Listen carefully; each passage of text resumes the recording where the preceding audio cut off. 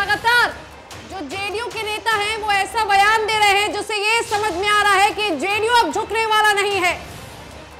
किसी भी मुद्दे पर जेडीयू नहीं करेगी समझौता।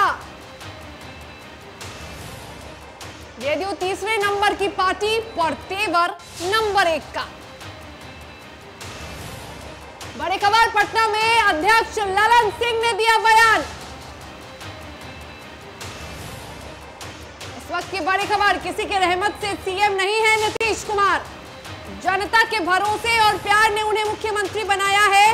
उपेंद्र कुशवाहा ने भी बीजेपी को उसकी हैसियत दिखाई है। अपने ही कर्मों के कारण बीजेपी की दुर्दशा हो रही है। बड़ी खबर आपको बता रहे हैं, एमएलसी चुनाव के बाद जेडीयू हुई आक्रामक। वक्त की बड़ी खबर बीजेपी के सामने नहीं झुकेगी जेडीयू। बड़ी खबर आपको बता रहे हैं, किसी भी मुद्दे पर जेडीयू नहीं करेगी समझौता। एमएलसी चुनाव के परिणाम में जेडीयू तीसरे नंबर की है, लेकिन तेवर नंबर एक का है। तो पटना में जेडीयू के राष्ट्रीय अध्यक्ष लालन सिंह ने बयान दिया है उन्होंने कहा कि सीएम किसी के रहमत से नहीं बने हैं नीतीश कुमार। जनता के प्यार और उनकी कृपा से बिहार के मुखिया हैं नीतीश कुमार।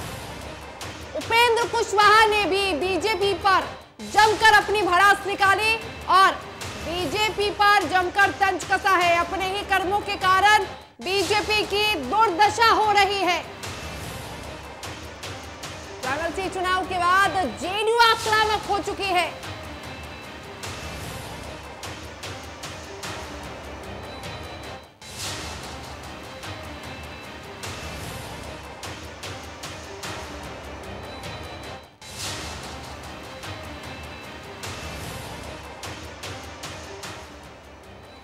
चलिए, इस खबर पर अधिक बातचीत के लिए हमारे साथ हमारे सहयोगी निषेध ठाकुर जुड़े हैं लाइव चैट पर।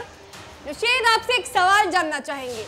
आज समारोह में जिस तरह से जेडीयू के दिग्गज नेताओं ने बीजेपी पर जमकर निशाना साधा, किसी से छिपा नहीं, और ना ही उन्होंने अप्रत्यक्ष तरीके से कुछ कहा है, सीधा बयान दिया है, इससे क्या समझ में आ रहा है, इसका क्या तात्पर्य है?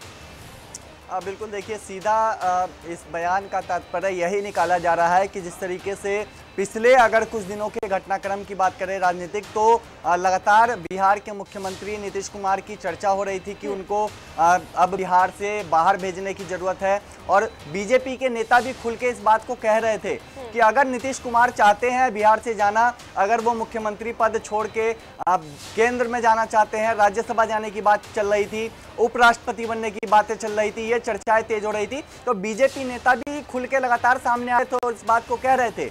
लेकिन जनता दल यूनाइटेड की ओर से उस वक्त भी ऐसा कुछ बयान नहीं आया था और अब भी इस तरीके का कोई बयान नहीं आया है। और जो आज बयान जो बड़े नेता है, दिग्गज नेता है केंद्र संसदीय बोर्ड के अध्यक्ष उपेंद्र कुशवाहा या फिर जेडीयू के राष्ट्रीय अध्यक्ष ललन सिंह की बात करें तो दोनों ही नेताओं ने इस बात को साफ़ तौर पे और क्लियर शब्दों में कहा है कि मुख्यमंत्री नीतीश कुमार की अगुवाई में बिहार में वो लोग काम कर रहे हैं और आगे भी करेंगे। इस बात को खुलकर कहा है जेडीयू के नेताओं ने और छोटे मोटे नेताओं ने नहीं कहा है, खुद जेडीयू के राष्ट्रीय अध्यक्ष लल्लन सिंह और संसदीय बोर्ड के जो अध्यक्ष हैं केंद्रीय उपेंद्र कुशवाहा, उन्होंने इस बात को कहा है कि मुख्यमंत्री नीतीश कुमार ही बिहार के मुख्यमंत्री हैं और आगे भी मुख्यमंत्री नीतीश कुमार ही बिहार के रहने वाले हैं। तो इस बात से समझा जा सकता है कि जनता दल यूनाइटेड अब खुल के इस बात को कह रही है कि चाहे कुछ भी हो जाए, बिहार के मुखिया नीतीश कुमार ही रहेंगे और उन्हीं की अगुवाई में जनता दल यूनाइटेड के कार्यकर्ता काम करेंगे।